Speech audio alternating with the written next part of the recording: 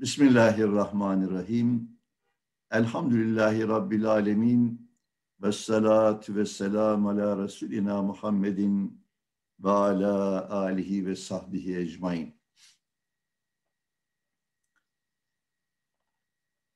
Cenab-ı Hakk'ın yaratmış olduğu bütün mahlukat içerisinde çok farklı bir yeri ve değeri olan insana verilen en büyük nimetlerin başında da akıl nimeti olduğunu ama o aklın da imanla akıl olduğunu üstadımız külliyatta izah ediyor.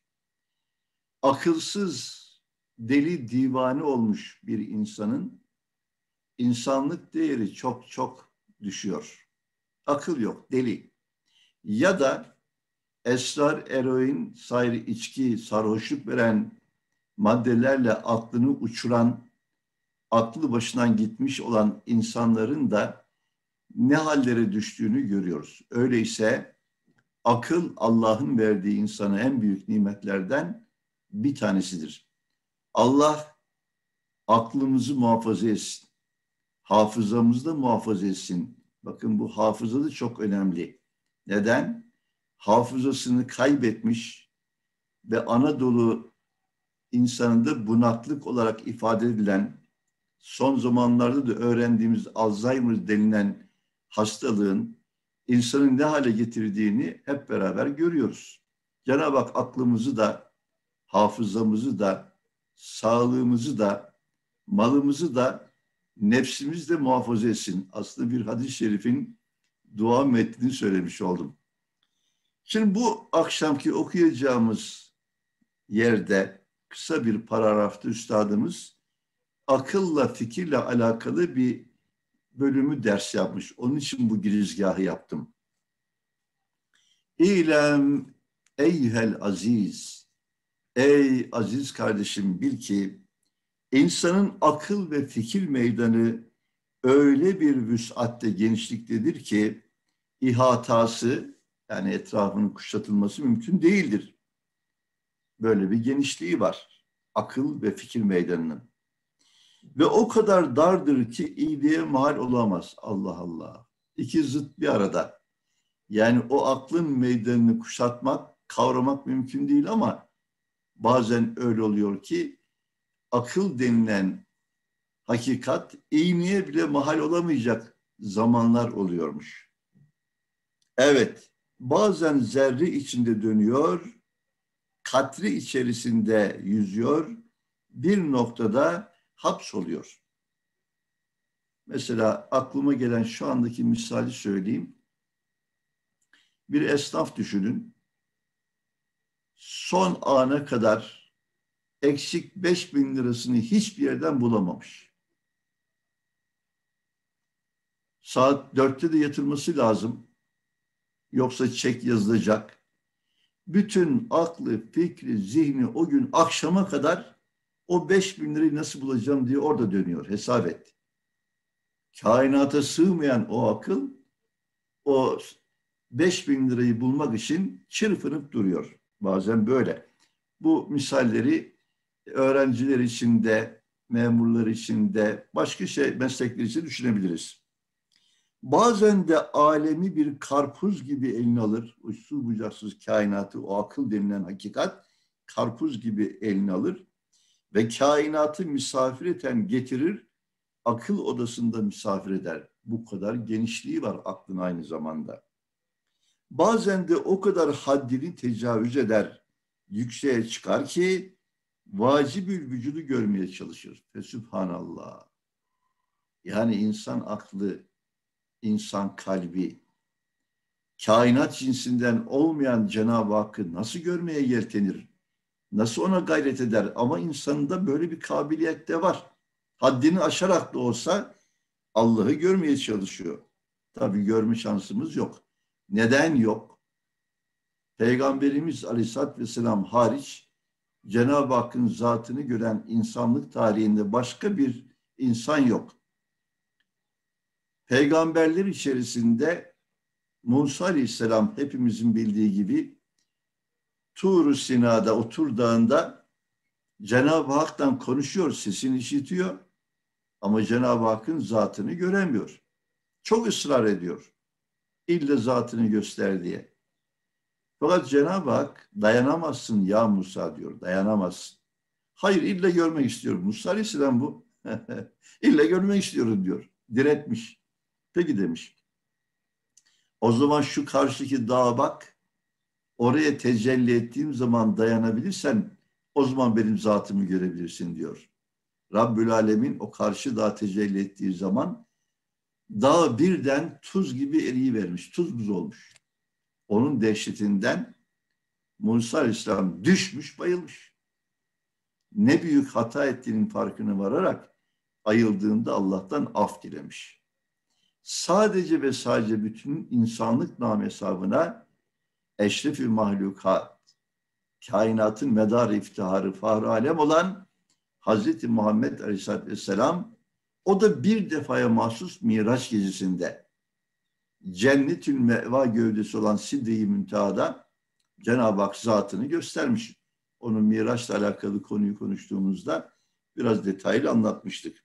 Onun için Cenab-ı Hakk'ı zatıyla ve hakikatiyle değil, Allah bize kendisini Kur'an'da nasıl anlattıysa, Peygamberimiz Aleyhisselatü Vesselam Cenab-ı Hakk'ı bize nasıl detaylı tarif ettiyse, o şekilde öğrenmek, anlamak durumundayız. Akıl ve kalp gözüyle Rabbimizi görmek esas mesele bu. Allahu Ekber deyip niyet edip namaza durduğun zaman ben evet yönümü Kabe'ye döndüm ama şu anda ben alemlerin Rabbi olan Allah'ın huzurundayım. Ben onu göremiyorum ama o beni her an görüyor. Namazda da görüyor. Namaz dışındaki her halimde de görüyor diyebilmesi lazım. Cenab-ı Hak'tan baş başa ibadet yapabilmek ne kadar güzel bir olay ya. İster cemaatle camide, isterse teheccüde kalmışsın, yalnızsın Rabbinden baş başa. O beni görüyor şu anda. Okuduklarımı işitiyor. Elini, elini açtığın zaman yaptığın duaları Rabbim biliyor. Yani çok şey söylemek istiyorum. Dilim kalbime tercümanlık edemiyor ama Rabbim benim kalbimden geçen arzularımı, isteklerimi dahi biliyor diye bunu düşünmek var ya, bunu böyle bilmek emin ol cihana değer bir saadettir biliyor musunuz? Çünkü o inna Allahe basirun bil ibad öyle tarif ediyor kendisini. Muhakkak Allah kullarını her an görüp gözetendir. Ve huve ma'akum eynema kuntum ayet-i kerime bu.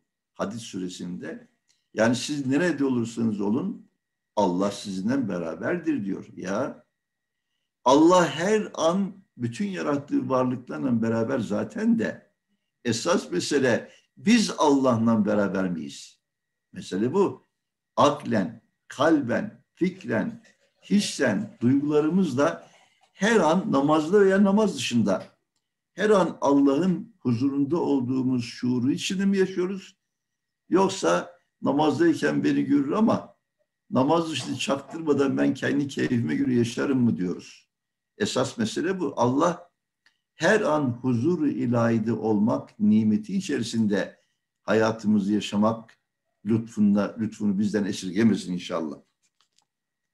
Evet, bazen de o kadar haddinin tecavüz eder bu akıl yükseğe çıkar ki vacibül vücudu Cenab-ı Hakk'ın zatını görmeye çalışır.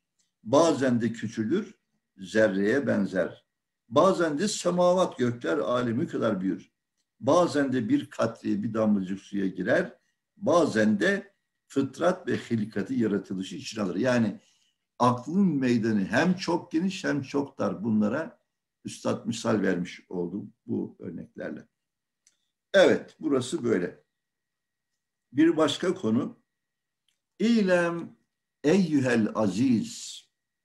Ey aziz kardeşim bil ki Cenab-ı Hakk'ın insanı verdiği nimetler ister afaki olsun dış alemden verilmiş nimetler olsun ister enfüsi olsun kendi iç dünyamızdan vücudumuzdaki nimetler olsun bazı şerait şartlar altında insana gelip usul buluyor o nimetler bize kavuşuyor. Mesela ziya yani ışık, hava, gıda, saft ve seda ses gibi nimetlerden insanın istifade edebilmesi için ancak göz, kulak, ağız, burun gibi vesayetin açılmasıyla olur.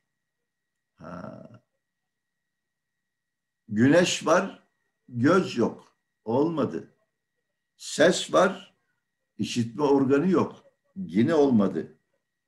Yiyecekler var, ağzın yok. Ağzın fermuarlı gibi kapalı, gene olmadı. E kokular alemi var ama burun yok, burun tıkalı. Hava var, nefes alamıyorsun. Demek ki bunlar birbirini gerektiren karşılıklı nimetler değil mi? Öyleyse afaki alemden verilen nimetleri yaratan Allah, o nimetlerden istifade edecek bütün organları yaratan da Allah. Birbirini dengelemiş. Bu vesait bahsi geçen organlar Allah'ın halk ve icadıyla olur. Gerek alemdeki nimetler, gerek insanın içindeki nimetler, göz, kulak, ağız, burun, akıl, kalp, sır, hayal, yani maddi ve manevi bütün duygular hepsi Allah'ın yaratması ve icadıyla olur. İnsanın eli kesb ve ihtiyarında kendi iradesi elinde olan yalnız o vesayet açmaktır. Yani kardeşim şu anda ders yapılıyor. Her ders ortamında kulağını dört aç. Sen hayal dünyasına dalar gidersen kulağın zahiren işitiyor gibi olur ama hiçbir şey kulaktan girmez. Niye? Başka şey düşünüyorsun olmaz. yani derslerde gerçi bunu söylerken şunu da ifade edelim. Yanlış anlaşılmasın. Yani bir ders ortamına gidildiği zaman yüz yüze ders yapıldığında mesela bakıyoruz bazı abilerimiz, kardeşlerimiz yorda e, işten gelmiş o kadar yorgun, o kadar argın ki Allah ders de o kadar feyizli ki feyzinden kendinden geçiyor. Tam köşeye de girmiş oraya, gitmiş başka alemlere. E olsun. O da olsun fark etmez. Çünkü Üstad Hazretleri yani insanın aklı bir takım hakikatleri duyması, anlaması bile başka latifeleri ondan istifade edermiş. Onun için acık kendinden geçmiş şekerleme yapanlara dürterek dokunmayın, rahatsız etmeyin. O yine istifadesi eder diyormuş. E tabi gözünü kulağını dört açarak dinlese daha iyi ama öyle de olsa fark etmez. Onun için ben bazen e, daha evvel de ifade ettim. Bazı kardeşler derslere bazen hiç gelmeyi veriyor. Niye? Ya geç kalıyorum diyor. E, son dersi yetişmek de hoşuma gitmiyor diyor. E, ya dedim ki arkadaşım bir tanesi öyleydi. Hep öyle geç geliyordu. Dedim bak 40 vagonlu bir lokomotifin ön vagonuyla en sondaki 40. vagon aynı istasyona gidiyor. Dedim sen 40. vagon dahi olsa gene gel o derste bulun kardeşim dedim ya. O fotoğraf çekilsin. Ahirette haşir meydanında bir berat senedimiz olur dedikten sonra baktım son 15 dakikada yoksa mutlaka ders bitmeye başladı. Hiç gelmemekten daha iyi değil mi? Ve gelir gelmez de kendinden geçiveriyordu yorgunluktan. Hem ondan sonra çalışmış hem de uzun yoldan gelmiş. Bir de karnı da aç eve de uğramadan derse geliyor. Vallahi helal olsun bu abi. İsterse şekerleme değil horul horul uyusun helal olsun kendisine. Yeter ki orada bulunsun. Onun için derslere gelen abileri acı kendinden geçivermiş diye rahatsız etmek de doğru olmaz. Bunu da söylemiş olalım. Ama yorgun olmayan, uykusunu almış olan da kulağını iki değil dört açsın. Gözünü iki değil dört açsın. Bütün benliğimizden derslere müteveccih olalım. Hem internet ortamında hem de yüz yüze yapılan dersler yapıldığında.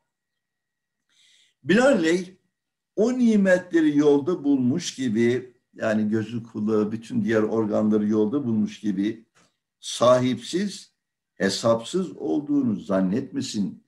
Bir de bu var yani Allah'ın hariç alemden vermiş olduğu nimetlerini israf etmeye de hakkımız olmadığını unutmamamız lazım.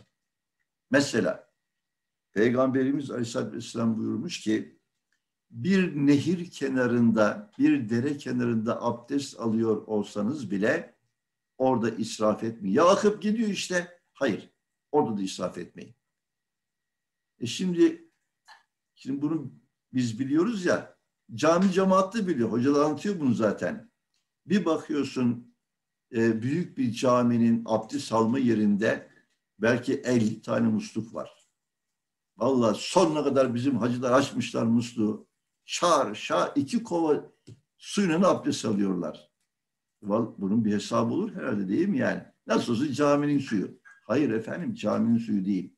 Su toplumun ortak bir nimetidir.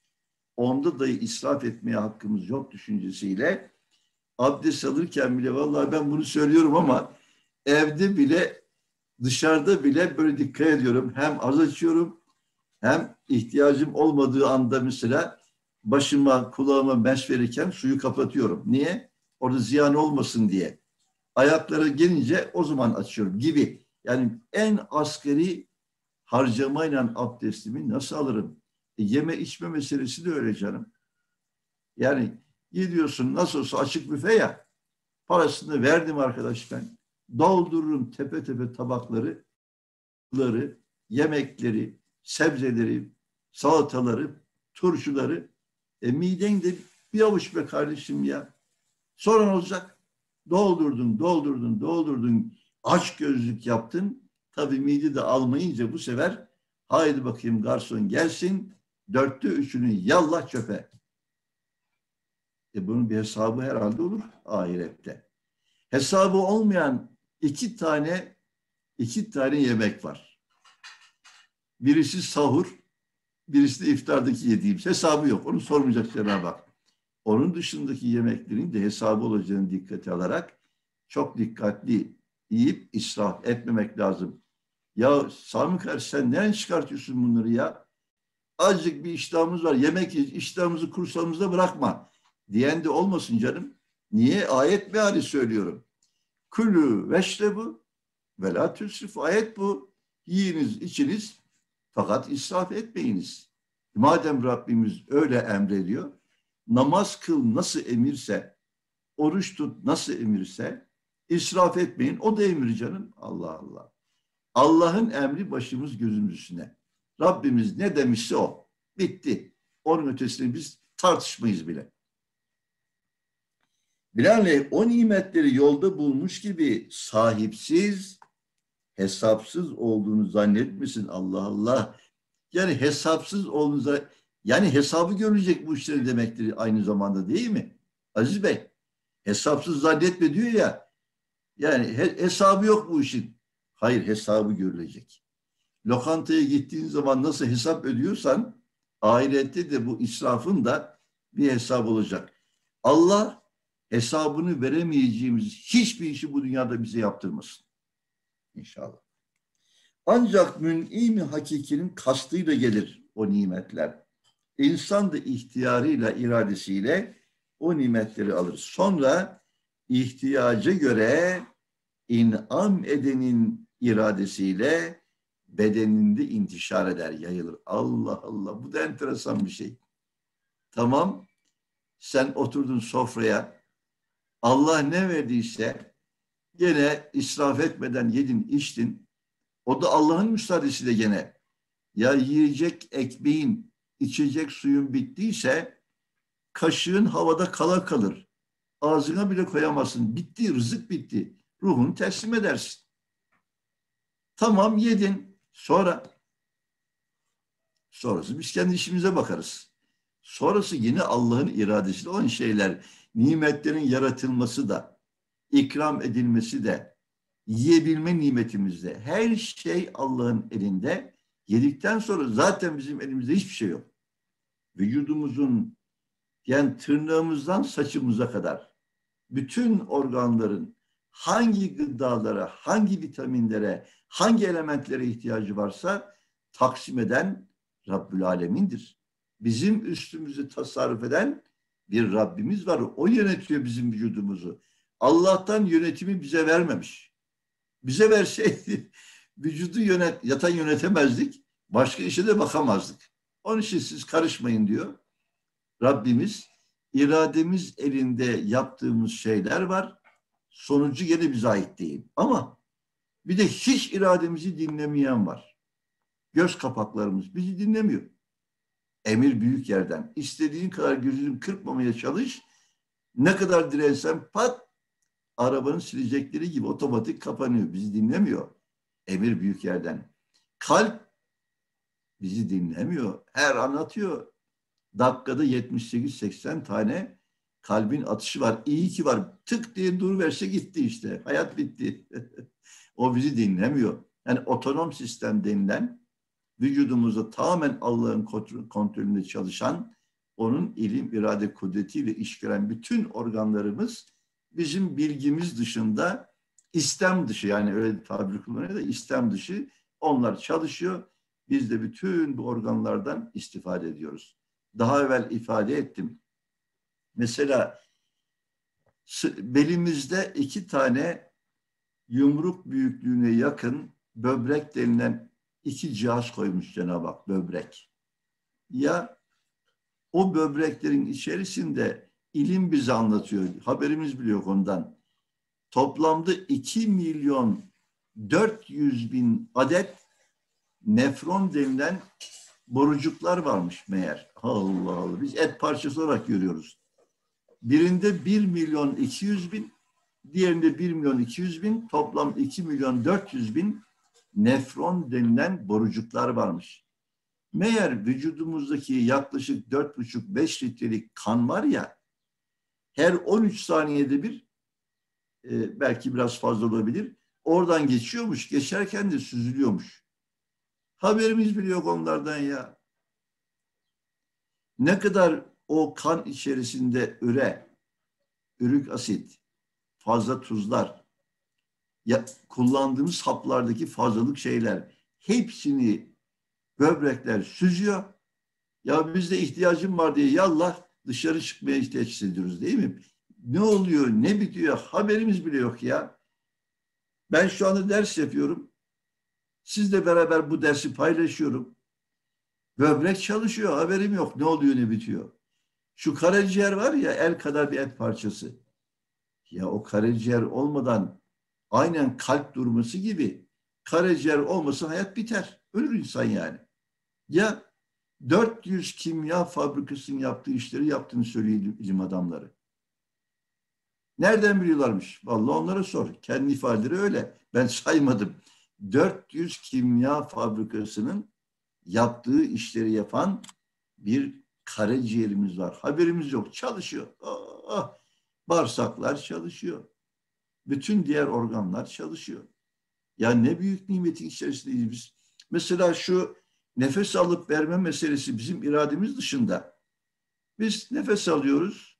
Çok büyük nimet. Alamazsak ölürüz. Veriyoruz nefesi. Veremezsek yine ölürüz.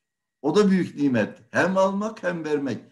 Ama biz otomatiğe bağlanmış nimet olduğunun bile farkında değiliz. Bir ağzımızı burnumuzu kapatsınlar da bir gör bakalım nefes almak ne büyük nimetmiş. Ya ve bu bu bu büyük nimete biz şükretmek aklımızın ucundan bile geçmiyor. Nefes alınır işte o kadar. Havada var. Eh. Kardeşim öyle olur mu ya? nimetler deryasında yüzüyoruz. O derya için hani denizdeki balıklar denizin kıymetini bilmez. Karaya vurduğu zaman sudan çıkınca çırpınarak ölür ya o zaman anlar. Biz de nimetler denizinde yüzüyoruz. Farkında değiliz. Ve şükretmek aklımızın ucundan, geç, ucundan geçmiyor. İşte bu sayısız nimetler ki ha, sayısız deyince aklıma geldi. Mesela Nahl suresinin 18. ayet-i kerimesinin sonunda Cenab-ı Hak öyle ferman ediyor. Birkaç surede tekrarlıyor bu ayeti. Ve in teuddu ni'metallahi la tusuha. Yani insan kendisine verilen nimetleri saymaya kalksa saymakla bitiremez diyor Cenab-ı Hak. Öyle haber veriyor. Peki ya Rabbi şükür elhamdülillah yetti mi bütün bu sayısız nimetlere karşı? Hayır. Yetmez. Niye yetmez? Şunun için yetmez.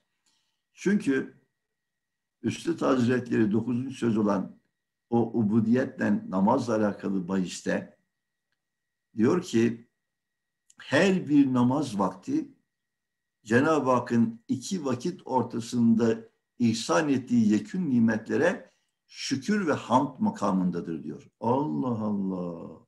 Ya ya sabahtan öğleye kadar nefes alıp verdin, yedin, içtin. Bütün organların çalıştığı, sayılamayacak kadar nimetlere mazhar olduğun birikti. Öğlen niyet ediyorsun. Öğlen namazını kıldığın zaman sabahla öğle arasındaki yekün nimetlere şükür ve hamd makamında o e, ibadeti yapmış, şükrü ifade etmiş oluyorsun. Zaten nam, Cenab yani namazın manası Cenab-ı Hakk'ı tazim, tesbih ve şükürdür. Namazın bütün manası bu zaten. Allahu Ekber diyerek Cenab-ı Hakk'ı her şeyden büyük olduğunu ilan etmek, Subhanallah diyerek bütün noksanlıklardan münezzeh olduğunu ifade etmek, Elhamdülillah diyerek sayısız nimetlerin şükretmek ibaret. Namazın manası bu baştan aşağıya. Yani duadır namazın kendisi aynı zamanda. Öğle ile ikindi arasında birikti nimetler ikindi namazı. İkindi akşam arası biriken nimetlere akşam namazı. Akşam yatsı arasında biriken nimetlere yatsı namazı.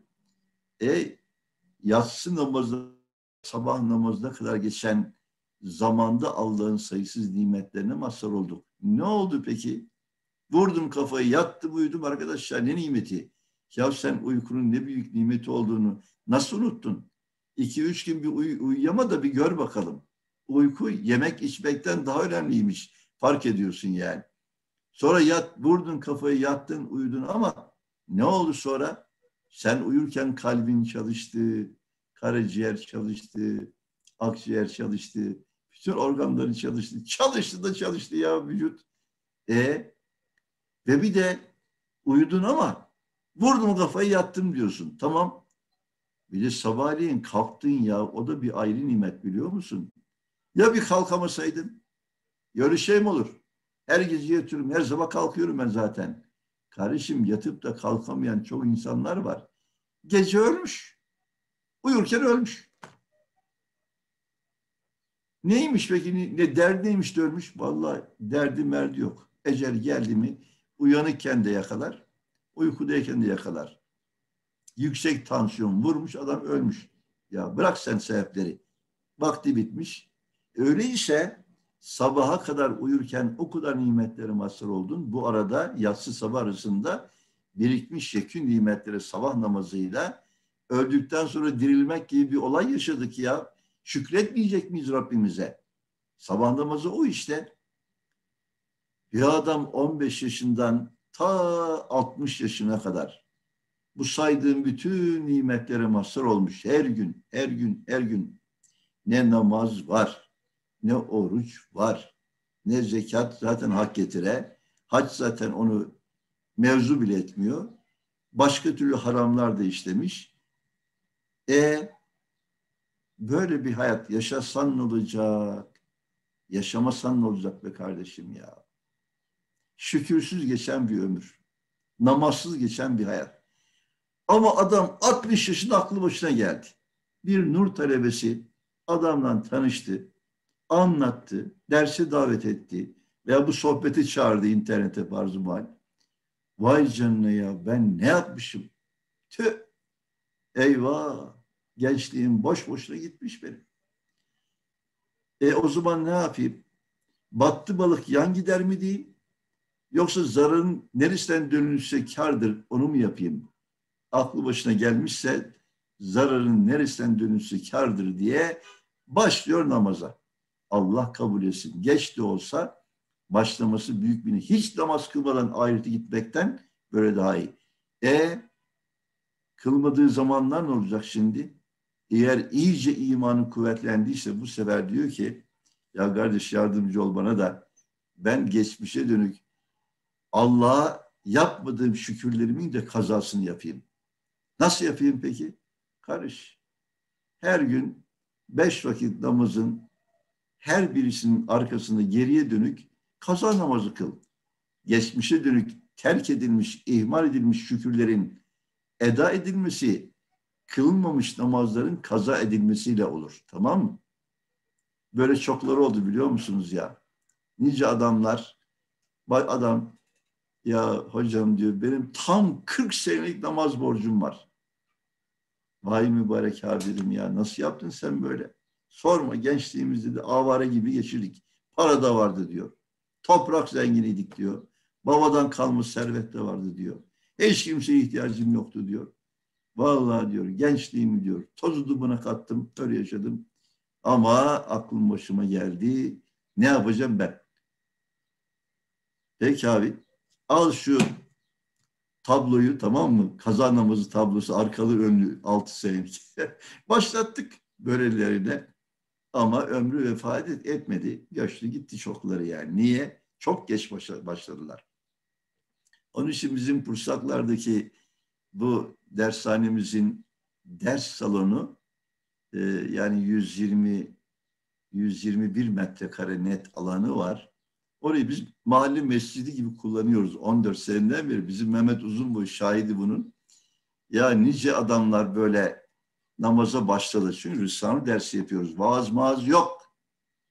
Öyle kıssalarla, hisselerle, hikayelerle Cuma günü litahutma yok. Açıyoruz sözleri, okuyoruz dokuzuncu sözü, beşinci sözü, altıncı sözü, diğerlerini, haşır risalesini. Vallahi Cuma namazı kılanlar diyor ki bu iş öyle bu kadar basit bir olay değilmiş. İş çetin ve aklının başına topluyor. Vakit namazına başlıyor. Geriye dönüp kazaya da başlıyor. Oh! Evet, büyük bir nimet oluyor. Bu arada ben baktım vakit bitmiş. Yarın akşam kaldığımız yerden inşallah devam ederiz. Subhaneke la ilme illa ma allamtena inneke entel alimul hakim ve ahiru davahum enilhamdülillahi rabbil alemin.